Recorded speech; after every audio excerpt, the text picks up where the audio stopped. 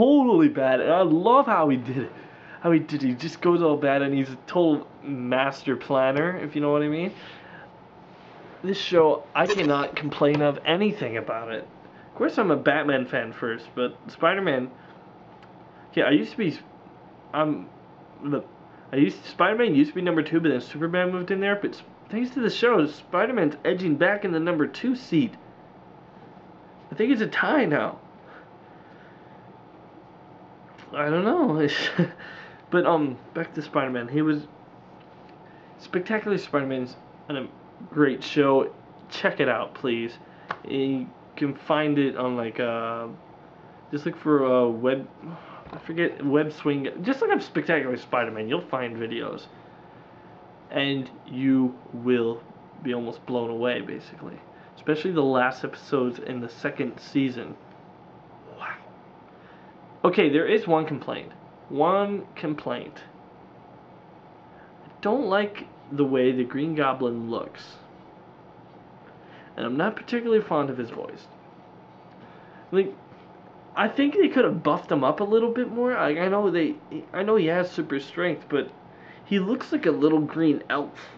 Basically, with the with the big ears, he looks like a little green uh, uh a green elf. But I've gone to maybe it, it's it's kind of like this. I would say it's kind of like what they did in the Batman with the Joker, but from what I look back in the comics, this is probably more realistic to the actual comic book design than the movies were. Because yeah, so I I'll I'm I'm letting it pass, and I'm not particularly too fond of the voice, but I love the guy that does Norman Osborn. Because that guy, his voice, and the way he does Norman Osborn's character, does not show one inch of fear. Like you see the scene where um um in the first season uh, Vulture drops him. He's heading for the ground. He's not like ah. He's just like, and then he's caught by Spider Man. He's like stoned faced, and then it, and then there's another scene where the um the place is uh they're in a building and then it's rigged to blow and he's just like shut it off not like, oh my gosh, oh my gosh, what are we gonna do? He's just stone faced. I just, I'm not too particularly fond of the guy who did the Green Goblin, but hey, I can let it pass because it's still such a great show. Um, my favorite, and and one other, th- another thing I really like about it, some shows, superhero shows, when they get into their seasons, they when they start, they seem to forget about all the other characters. Like, they'll have the main villains like in this, I, I guess the main villains are the Green Goblin, um, Doc Ock, and Venom. Those would be the three main.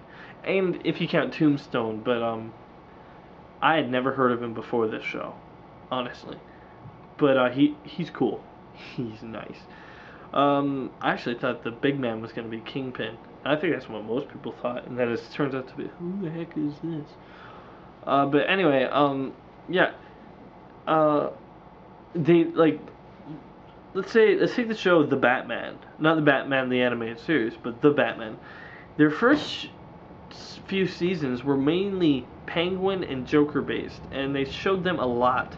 And they kind of got annoying, but you didn't really get to care that much about all the other characters. And all the other villains got to show in like their own episode like once, and then they were only thrown in other episodes. I mean, like, um, Killer Croc only had one episode. Uh,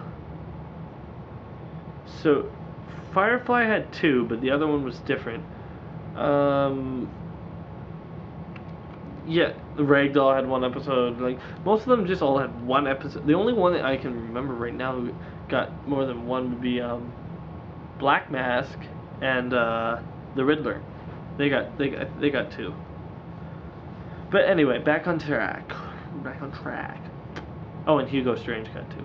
But anyway, more than one. I mean, anyway, back back on this track here of. But what they did, they didn't do that. They included their older, their not so famous villains. Spider-Man, uh, the Sandman has more than one episode where he's in the main the main character in it, or the main villain in it, and so does Shocker, and so does um Rhino. Did I say Rhino? No, Sandman. And like all their other minor characters still have their own episodes, and um, and they're cool. It's this show is doing a great job of getting those who haven't really aren't really into comics, getting them into the show because trust me guys. In closing, I just want to close here. This is the best show on television right now, and maybe the second best uh, animated show ever. Okay, put it in. I'm gonna put it in third behind Justice League. Unless you count Justice League Unlimited, which I'll put it fourth. But still, very, very good show. The best show on TV right now. Cartoon show. Okay, I'm Lazy D99. Alright, I still need a catchphrase. So long, suckers! That's a bad one. Guys, guys, we're done the video. The video's over. Gu- guys, guys, Gu- guys, the video's over. Guys,